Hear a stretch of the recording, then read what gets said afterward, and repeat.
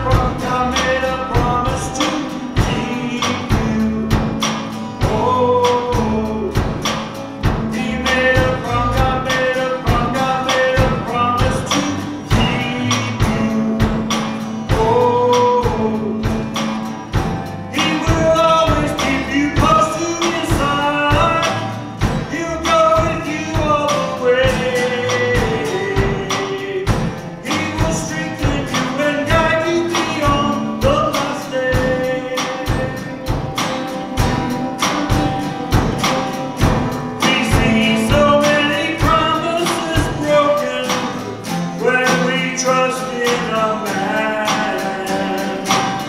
But God.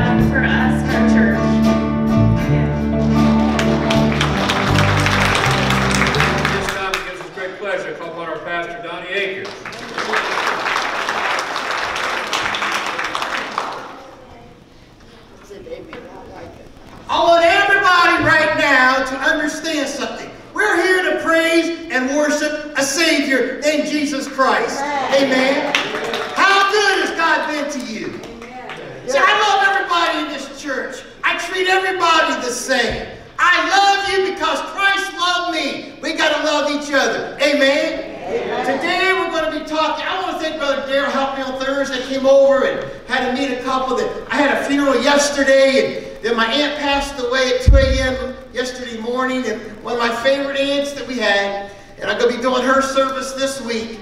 But I, I thought as Brother Daryl had me put that cross up Thursday. Jesus realized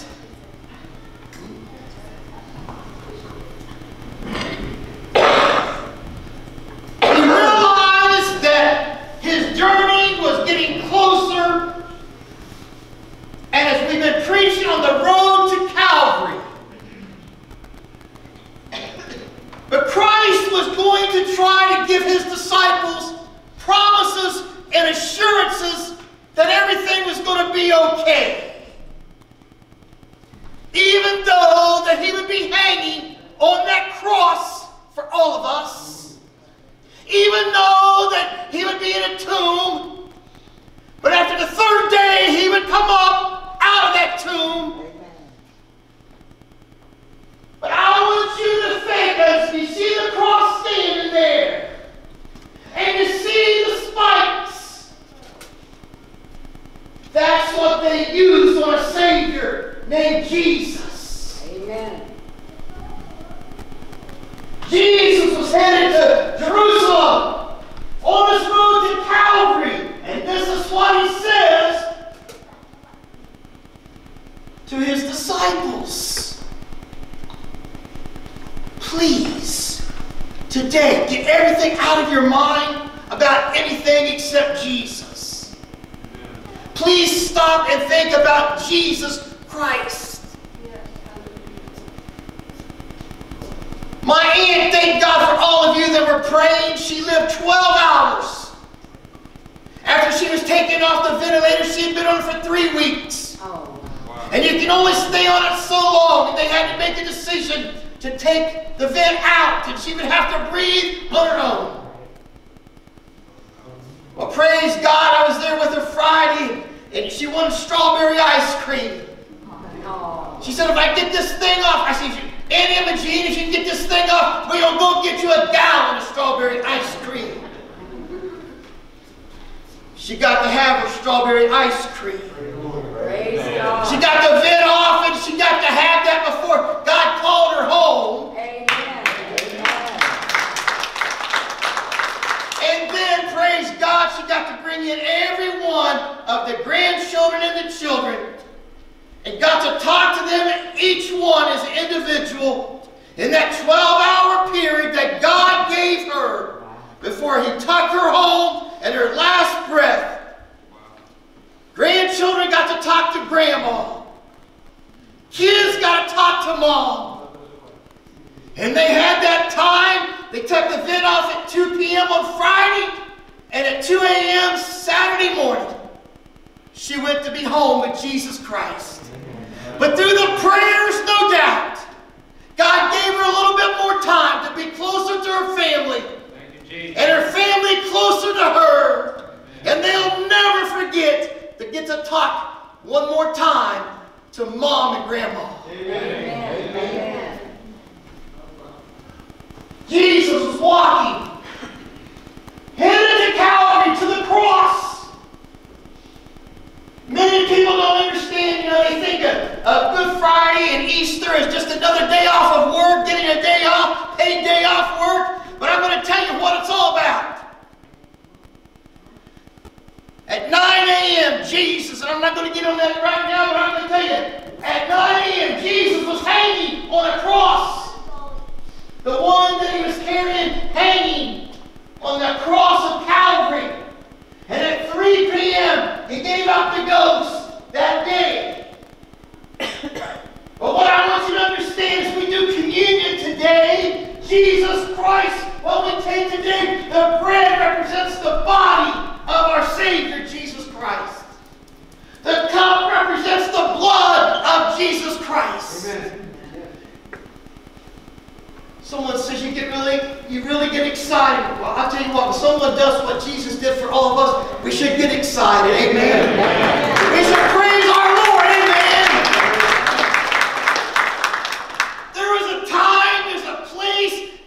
place for, man, I laugh, you know, people today, I come here, you know, I, I, I'll be honest with you, my mind is trying to see one more soul to get to Jesus Christ. My mind is keeping the Christians that are already saved encouraged to keep them going. But as Jesus started taking that walk to Calvary, he had to assure his disciples, Jesus, I can't help but think about a Savior and Jesus was headed to Calvary, St. John, the first verse is on the screen. St. John chapter 14,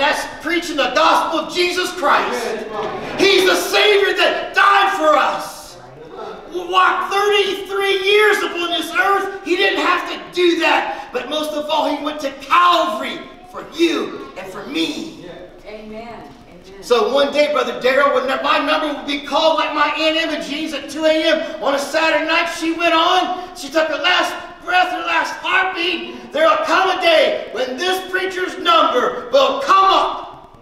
And no matter who prays, no matter what anyone does, no matter what the doctors do, I'm going home. Because God has got my mansion ready over on the other side. Let not your hearts be troubled, disciples, and to all this church. Ye believe in God, believe also in me. In my Father's house are many mansions. I saw Brother Charlie last week and gave him a card, and man, he just, he, he, he was so excited. Amen. He was in that bed, you know, and he ain't saying a whole lot right now. Every once in a while we talked, and, but I'm going to tell you, that man has preached for years and years to the elders in nursing homes. And that man has tried his very best. And I'm going to tell you now, whenever something happens to that man, I know where he's going. Amen. He's going home. Amen. Amen. Amen. In my father's house are many mansions. If it were not so, I would have told you. I go to prepare a place for all of you. Someone asked me, Pastor, do you really believe that? You better believe I believe it.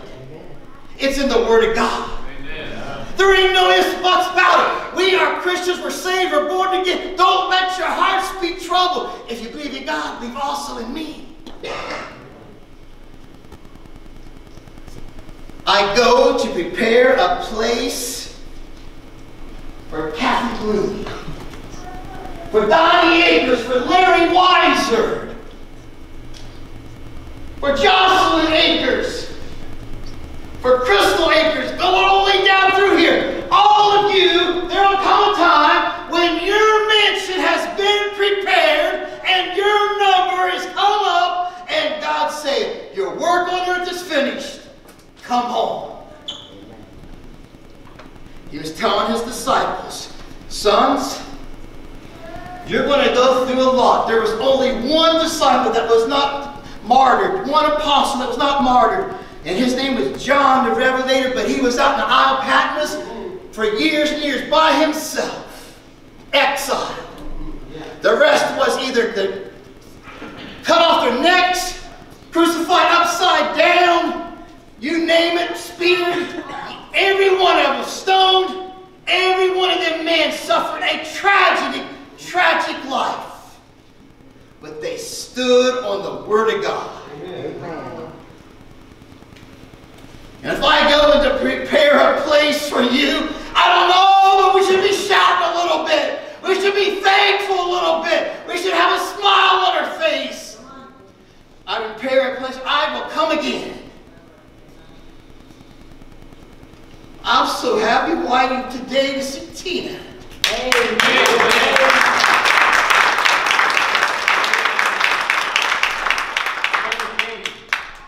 Don't tell me there ain't no God. Don't tell me there ain't no angels. There were angels watching over Tina and Landon. And t- I saw that picture of that car. I saw that car rolled over. And I know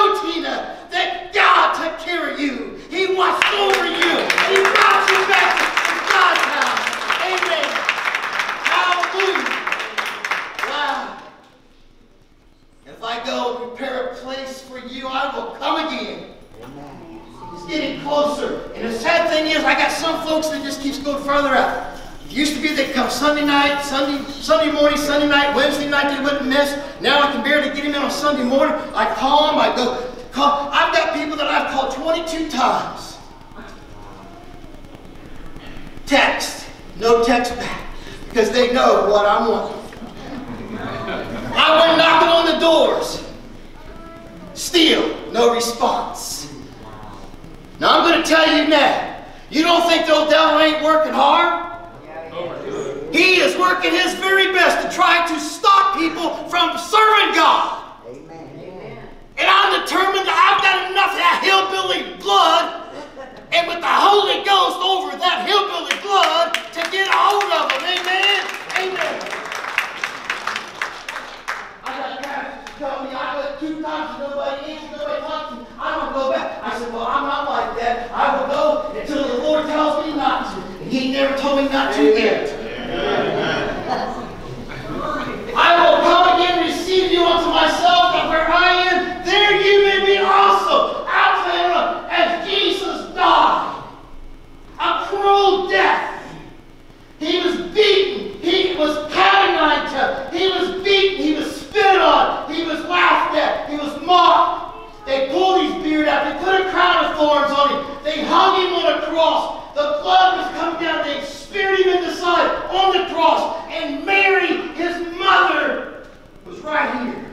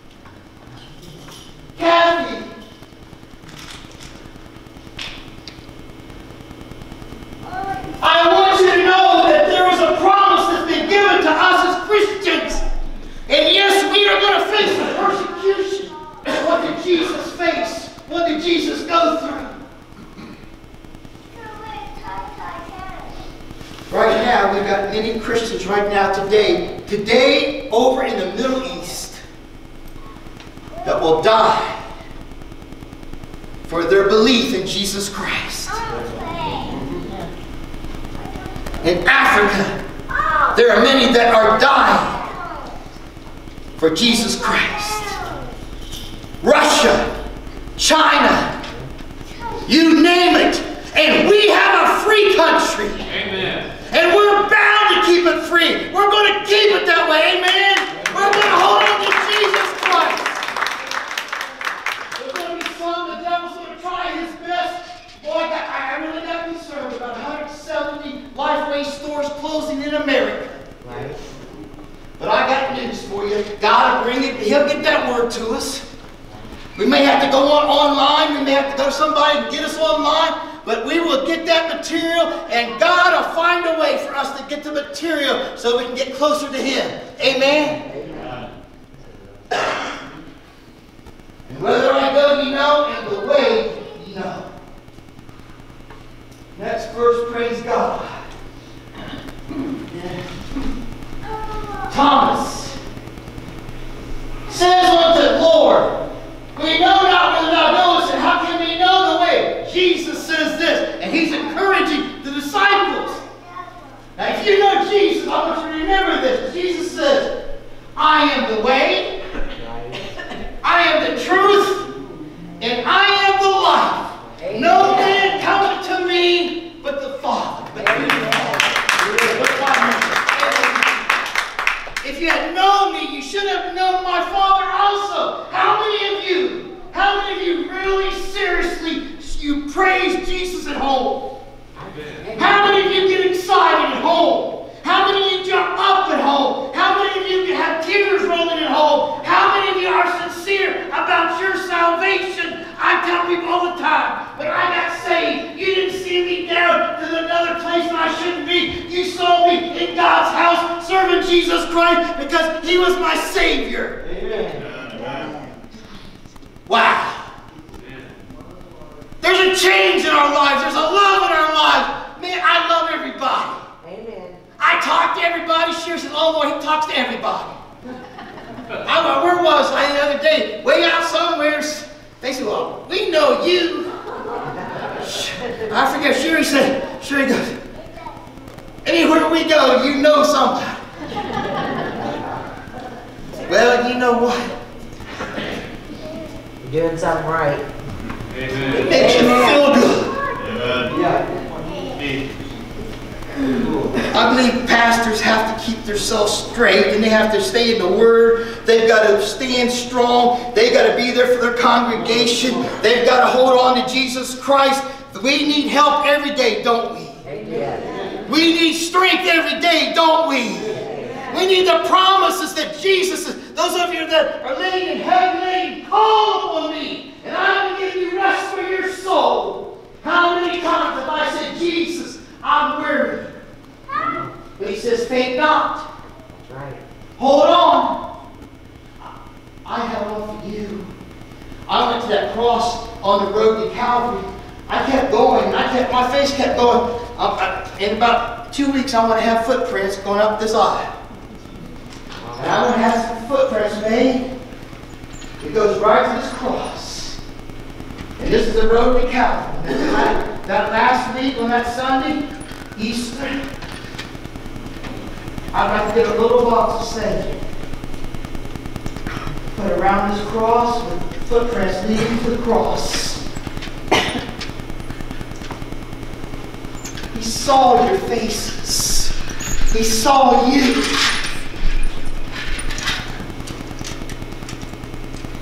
He kept encouraging his disciples. He kept saying, You're going to go through a rough time.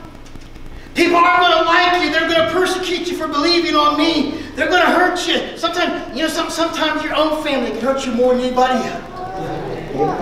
If you stand on the word of God, someone says, I don't believe in that junk. You ever heard anybody tell you that?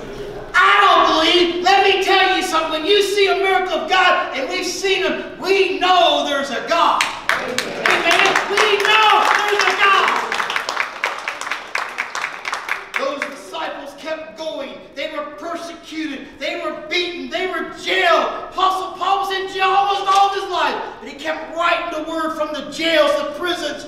And one time about midnight, old Paul and Silas was in a prison. And I can just hear them now. They said, man, them guys are in prison, and listen to them now.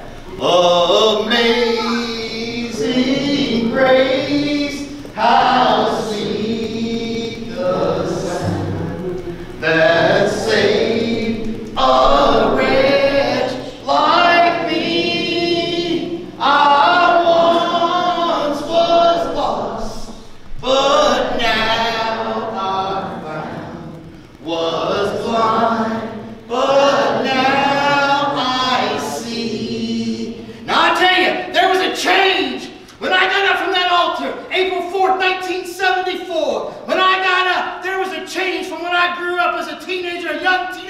thought I knew everything. And I found out something. There was one that put me on my knees. There was one that convicted me of my sins. There was one that was stronger and more powerful than anything I've ever met. His name is Jesus Christ. Amen. He made a change. Next verse going back.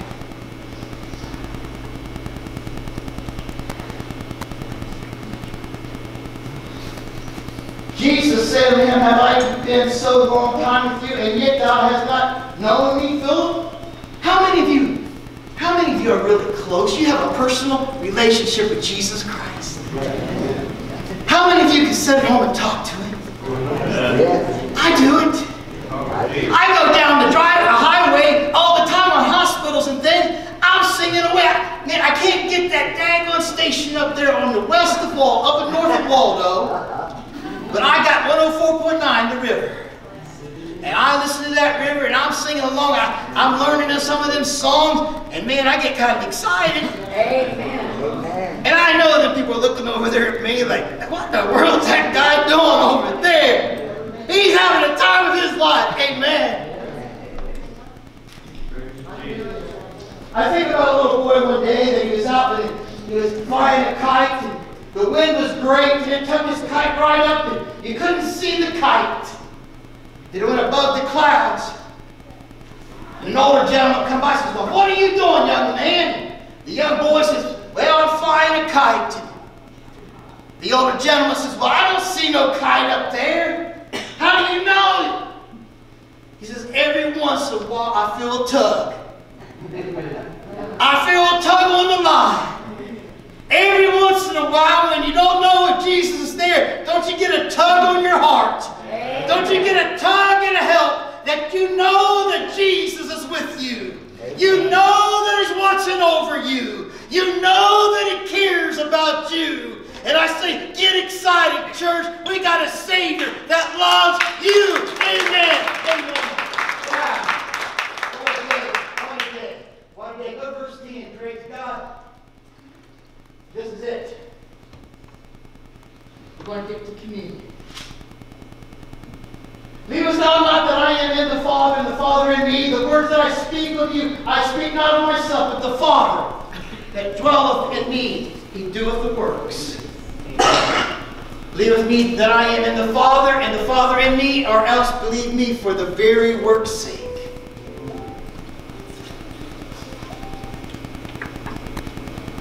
On the road to Calvary, Jesus was trying to keep his disciples encouraged. He was trying to keep them going when he hung on the cross. They said he was gone. They took him down. Joseph of Arimathea, Nicodemus came and got his body. Jesus had nowhere to go. But these fellows, these rich guys, Joseph of Arimathea, Nicodemus came and found a tomb to lay Jesus' body in. I want to tell you, Jesus didn't care about material things. He knew what was waiting up there. I can kind of see it. I got more to go to heaven for than I had yesterday. Amen. Jesus didn't care. Sometimes he'd just have a little bit of change. Just enough. Sometimes if he couldn't find some flowers or something to eat, some kind of berries, whatever he could find, he'd stop by in a little place and get it. He had nowhere to lay his head. He had no home. But he kept going and tried to win one more soul. He went with the drunkards. He went with the poor. He went with people who said you shouldn't talk to. Jesus went in there and talked to them all. He, took, he would talk to the drug addict. He would talk to those that had been married five times and living with a man. He says, go and sin no more.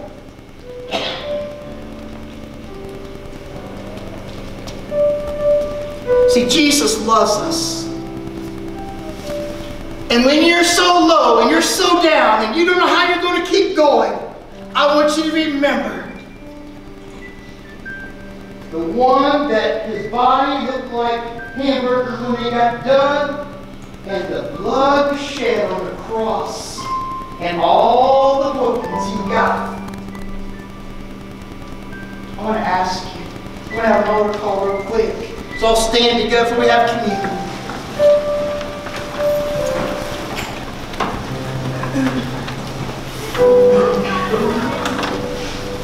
I want to ask you,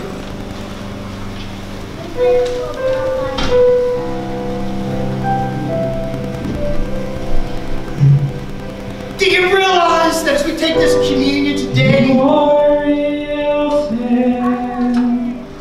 The and what this bread represents, his body, as you take of that little wafer, and as you take of that little cup of juice, that bread juice represents that blood that Jesus gave for us. So our sins can be covered by his blood. And now he has a promise. He says, I, you believe on me. You've asked forgiveness. I've got a place for you that I'm building, and it's going to be waiting on you when I call your number. And you're going to spend eternity with me. I'm asking you, it's your choice.